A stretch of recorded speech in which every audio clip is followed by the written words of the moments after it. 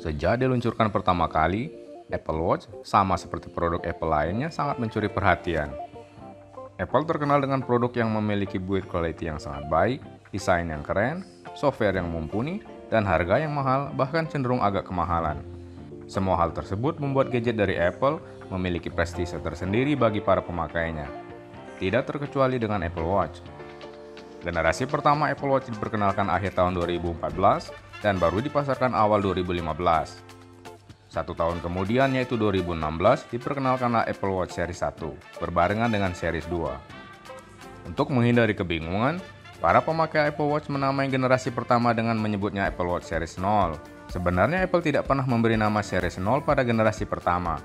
Jadi Series 0 adalah generasi pertama Apple Watch yang diluncurkan dan Series 1 adalah Apple Watch yang diluncurkan setelahnya.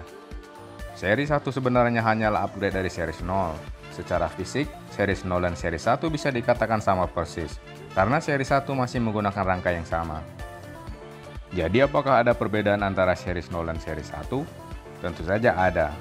Kalau dari form factor seri 0 dan 1 tidak dapat dibedakan.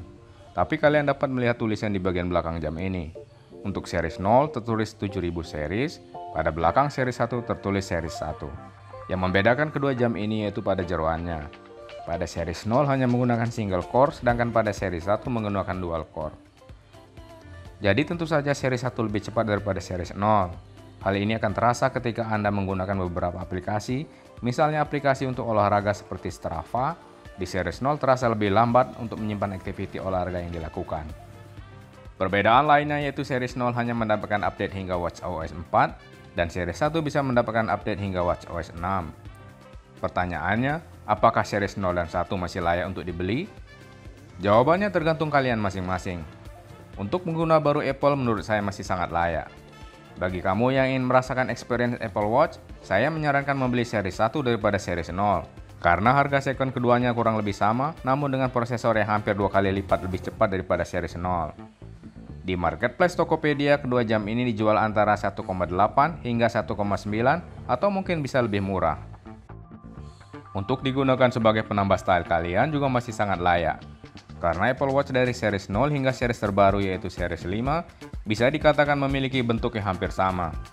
Bahkan sebagian besar orang tidak mengetahui perbedaan bentuk antara series 0 dengan series 5. Kalian masih akan sangat bergaya bila menggunakan series 0 atau series 1.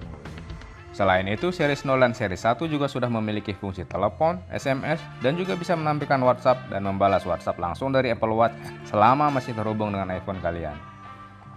Namun ada kekurangan di seri 0 dan seri 1. Kedua Apple Watch ini belum built-in GPS, jadi kalian harus membawa iPhone kalian jika ingin menggunakan activity tracker saat olahraga outdoor. Oh ya, untuk mengaktifkan semua Apple Watch, kalian harus menggunakan iPhone. Tanpa iPhone kamu tidak dapat mengaktifkan Apple Watch. Saya sarankan kamu memiliki iPhone 6 ke atas untuk mengaktifkan jam ini. Sampai di sini dulu video ini. Mohon dukungannya untuk berkembangnya channel ini dengan menekan tombol subscribe dan mengaktifkan lonceng notifikasi. Sampai jumpa di video-video berikutnya.